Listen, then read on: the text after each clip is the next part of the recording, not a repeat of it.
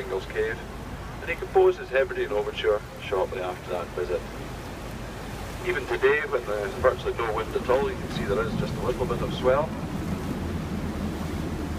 So once you're in the cave, you'll be able to hear what Mendelssohn was on about.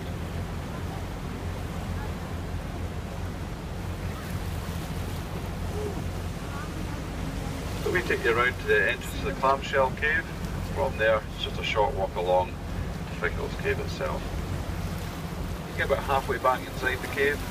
There's a barrier that prevents going any further back. Please don't go beyond that, there for your own safety. Got a slippy in the back of the cave.